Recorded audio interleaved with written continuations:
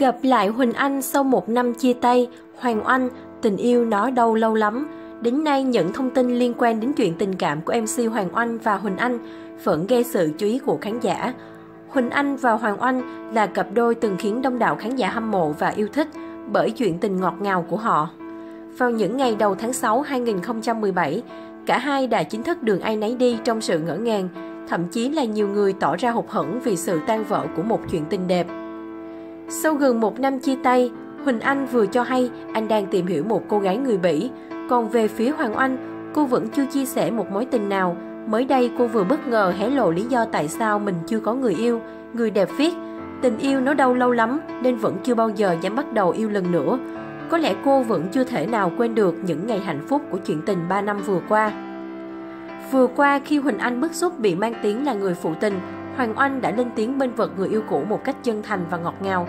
Theo đó, cô đã chia sẻ ảnh cả hai vừa đi quay chung trong một chương trình nói về các cảnh đẹp ở Việt Nam và nhắn nhủ.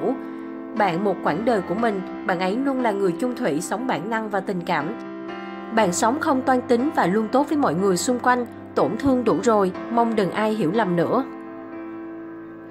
Hoàng Anh dùng khá nhiều lời khen ngợi khi nói về bạn trai cũ của mình.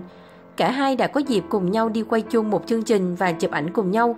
Khoảnh khắc này đã làm cho người hâm mộ có dịp rần rần. Sau chia tay, Hoàng Anh vẫn là cô gái chiếm nhiều diện tích nhất trên trang cá nhân của Huỳnh Anh. Cũng giống như Huỳnh Anh, Á hậu vẫn giữ lại hình ảnh chung của mình và nam diễn viên. Dù đã gần một năm kể từ lúc cặp đôi này chia tay, nhưng trong nhiều bài viết người hâm mộ vẫn thể hiện sự tiếc nuối và luôn mong họ sẽ quay về với nhau.